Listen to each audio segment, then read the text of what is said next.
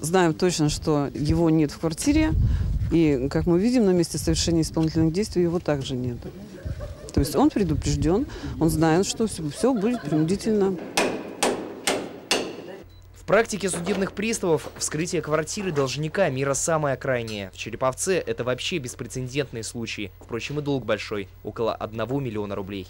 Исполнительный документ службы судебных приставов поступил в октябре 2010 года. С тех пор прошло несколько судов о приостановлении исполнительного производства, однако безрезультатно. Судебные приставы неоднократно предлагали должнику выселиться добровольно, однако он отказывался. 14 апреля было вынесено постановление о вскрытии жилого помещения. Должник – пожилой череповчанин. Пенсионер участвовал в долевом строительстве и до 2006 года своевременно гасил рассрочку. После, по словам представителей предприятия-застройщика, перестал.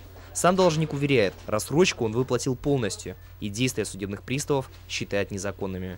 Я вам тогда сообщаю в очередной раз, что двери квартиры вскрыты. В настоящее время я нахожусь в квартире и приступаю к совершению приступаю к описи вашего имущества. Я знаю об ответственности. Он сообщил, что он находится по пути в Генеральную прокуратуру. В любом случае, пока недавний собственник этой квартиры числится должником и подлежит выселению, а его имущество – изъятию из квартиры. Имущество, которое вывезено с места совершения исполнительных действий по выселению должника, может быть храниться два месяца. Если должник не заберет это имущество у ответственного хранителя, то тогда имущество будет реализовано.